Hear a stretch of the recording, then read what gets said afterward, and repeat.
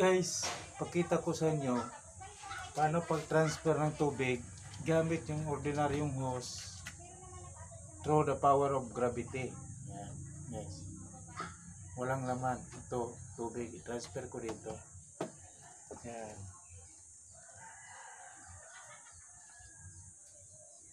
Itong hose.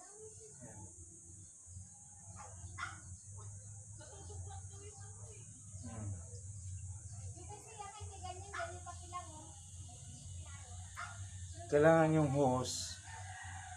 Wala siyang yan.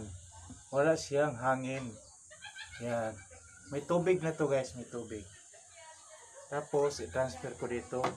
Yung tubig dito i-transfer ko dito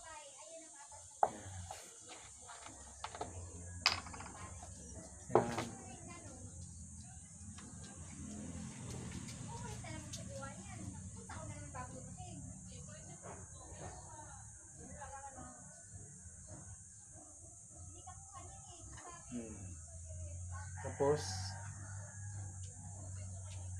transfer ko dito.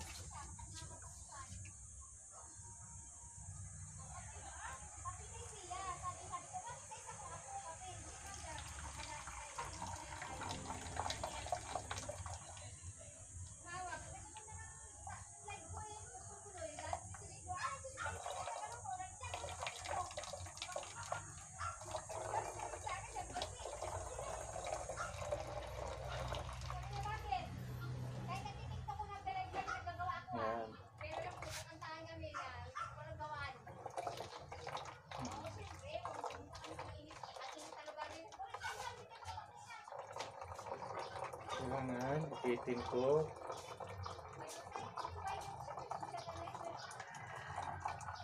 Para hindi magalaw. Ano nangyari?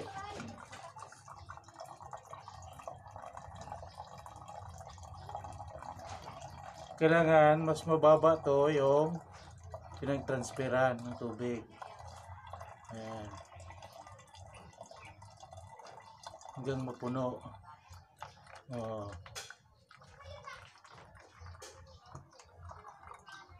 Yan ang simpleng tips. Pag-transfer ng tubig mula sa malaking container hanggang sa maliit na container. Gamit lang ang ordinaryong hose. Tinatawag nito gravity transfer. Ah, through the power of gravity, siyempre gravity, lahat ng nasa taas bumabagsak. Kailangan bumabagsak siya yung hose, kailangan mas mababa to kaysa dating lagay ng tubig. Yan.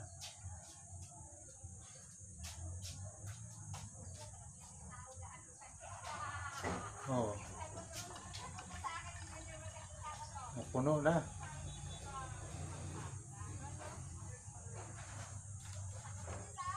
Oh.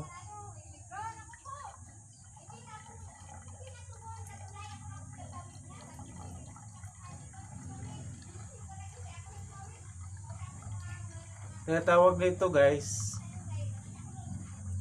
transfer ng tubig through gravity. Yan.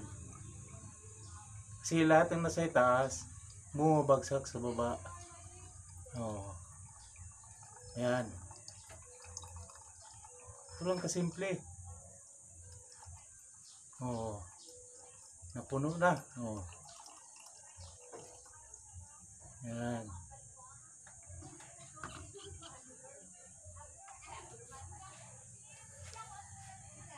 Yan, kasimple, guys. Oh. Oh.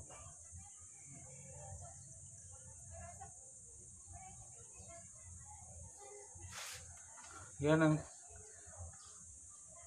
kunting tips. Halimbawa, hindi mo mabuhat yung malaking container, i-transfer mong tubig dito sa maliit.